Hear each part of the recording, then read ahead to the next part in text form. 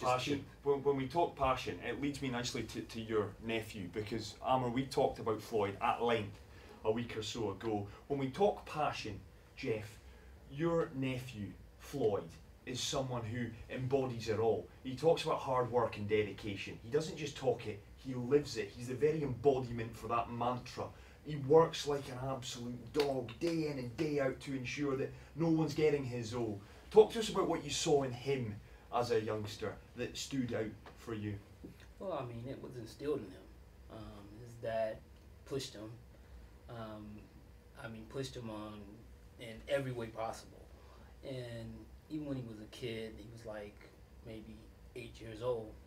He would be running like five miles in the neighborhood, and people thought that he was crazy because they didn't see his father driving a car. They just saw a little kid just running all through the city and basically um, now those same people became fans of his Yeah. and realized that he wasn't crazy that you know he was on his way to greatness and that's and that's what happened Money and fame usually affects boxers when they make enough of it or when they become famous enough. We've seen numerous cases of high profile boxers get to a certain level, earn an awful lot of money, become extremely famous, and then their career starts to dip. For Floyd, the money was clearly not the driving factor, even though he's Floyd Money Mayweather, because he would still go to the gym at three, four in the morning. He would still work harder than anyone else. So why did he not? Why did the money, the wealth, and the fame not soften his desire to become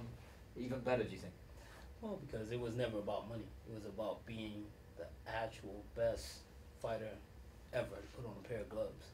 I mean when floyd was five or six years old i mean that's how young he started. He started so young. And everyone in my family where he's at today we all expected it. It's not like it just happened. This is what we expected. And so basically there will be people that anyone within you know with an ear's reach we would tell him you know that he's going to be the greatest fighter ever that ever lived.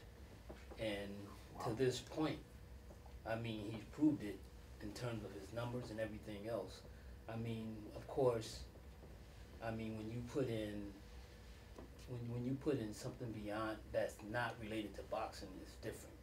But when you when you talk ex- nothing about boxing only boxing floyd's by hands down is, is the best fighter ever Phenomenal insight there. The fact that you guys, the family, were saying to him at a young age, you will be the greatest, and he's gone on to do just that. 4001, questions are pouring in for you guys. We're going to come back. The guys are in with us until 8 o'clock this evening. Sonal Rupani for now, as your news headlines.